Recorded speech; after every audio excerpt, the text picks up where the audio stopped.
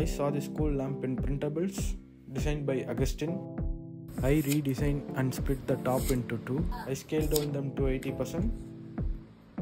Remove the cover of the holder. I already made the way to the cable. Glue the holder to the bottom cover. Place the holder to the lid. Fix them tightly. Stick thin double side tape.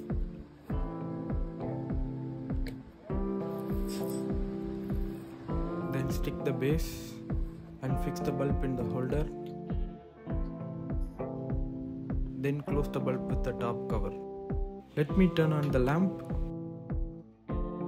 Everything done. I use Philips RGB bulb and it's Wi-Fi. I can change any color, any mode with my smartphone. I have plans to build more awesome stuff, so please subscribe to the channel.